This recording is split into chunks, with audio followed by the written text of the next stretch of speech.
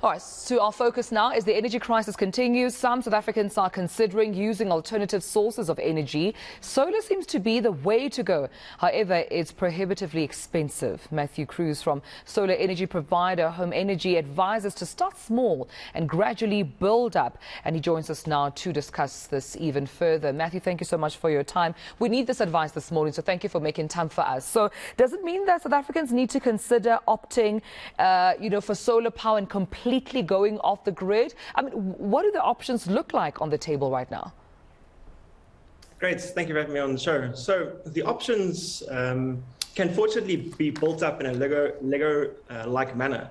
So there's the completely off-grid option, which we kind of don't recommend, where you disconnect from Eskom, you have lots of solar panels to power um, big batteries that can last for a couple of weeks if the, if the clouds are in your area for a while. That's the most expensive option. Then you've got a kind of middle ground option, then you've got a small option which will just see you through load shedding, which kind of we recommend start there. You can add solar panels later. We don't recommend going off grid completely. You want that lifeline to charge the batteries if you mm. need it mm. from Eskom. Yeah, and also when we talk about cost, I mean that is relative. What's what's expensive to me may not be to my neighbor. So when we talk about costs here, uh, how much are we looking at approximately?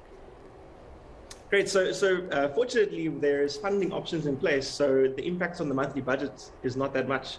Uh, when you look at the overall cost, there's the, the capital cost of, of the battery option. Uh, that can be around 60,000, 80,000 Rand, depending on which kind of battery you go.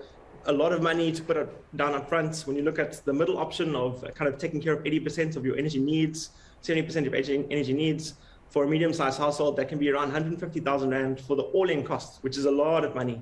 Uh, so those two options, interestingly, can both be financed either through a bond uh, or you can get a rent-to-own model. So if we look at the battery option, it would cost around about 900 rand a month.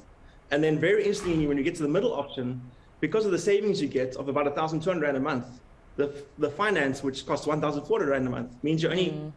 adding 200 rand a month to your monthly budget to have immunity from load shedding and also generate your own power.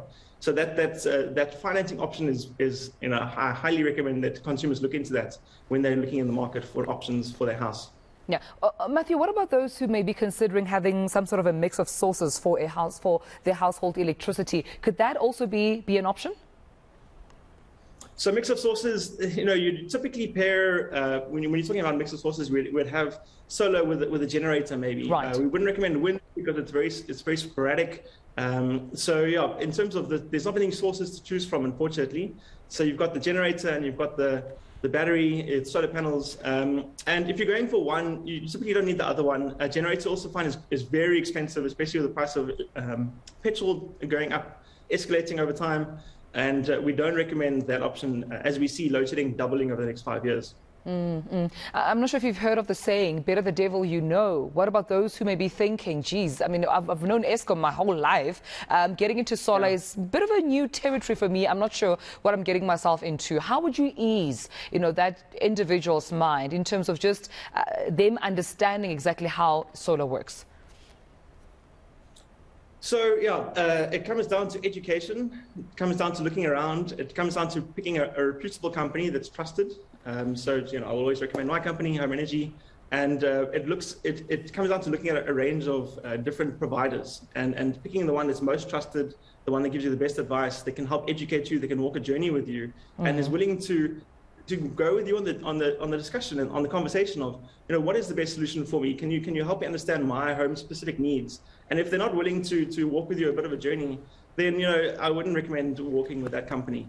Um, yeah. so yeah in, in terms of Eskom leaving Eskom behind i, I do think the time is now uh, this year to, to leave Eskom behind yeah, and if you if, we don't leave Eskom, I mean, what, what should happen uh, in the next couple of uh, months or even years? It seems that's the question to say, will we be stuck with the same problem? Because I think uh, at the back of our mind, there's that little bit of hope to say maybe tomorrow things will get better. Uh, maybe by tomorrow we'll be told that, you know what, there's a new South Africa, there will no longer be any load shedding. But what's the reality? You're in the energy space. Are Eskom issues definitely going to be here for the long term? Yes, I'd say with a firm, solid yes, there is. So I think it comes down to the previous messaging being there's load shedding for two weeks, there's load shedding for a week, right. and then not really communicating long term. What's going on is there's the old power stations. This is my, you know, this is my analysis of, of the sector. There's these old power stations coming offline, five of them by 2025. So it's Hendrina Komati Arnot. So the, the, the old power stations are coming offline, and not much generation capacity is coming online that can provide power in the peak in the evenings. The 34, 32,000 megawatts that we see in the evenings. There's, a, there's 90% solar farms coming without any batteries, so they're producing power in the middle of the day uh, without having any storage for providing that power at night. And you, when you look across the board, IRP 5, 6, the, the risk mitigation program, there's nothing coming on really that provides power in the evenings. There's like 10% maybe of the power. So mm. you have these five power stations coming offline, you have a fifth of that power coming online, to provide power in the evenings, that means load shedding, in my opinion, is going to be doubling over the next five years, unfortunately. So that's, you know, you need to start thinking longer term. When will load shedding actually end? Maybe in 10 years' time.